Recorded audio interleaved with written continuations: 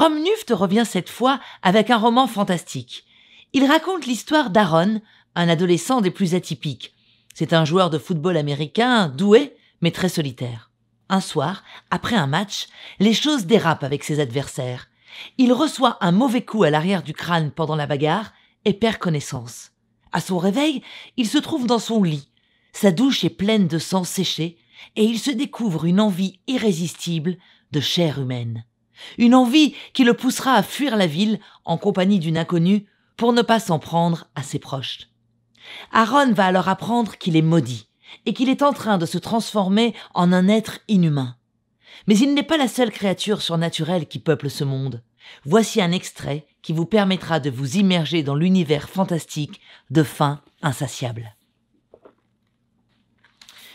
Il se demanda d'où pouvaient venir ces chuchotements, puis il le vit. Son propre reflet ne lui ressemblait plus. S'il était habitué à ces changements physiques progressifs, ces quelques heures de sommeil avaient enfoncé le clou. Il n'y avait plus la moindre trace de graisse ou de chair sur son squelette, où ses veines couraient en contact avec sa peau, qui rendait son teint d'un blanc livide, rougissant et bleuissant. Ses bras et ses jambes connaissaient une nouvelle articulation qui lui permettait de tourner ses membres à 360 degrés. Mais c'était son visage qui l'inquiétait. Ses derniers cheveux étaient tombés pour laisser apparaître un crâne chauve et dur comme un roc.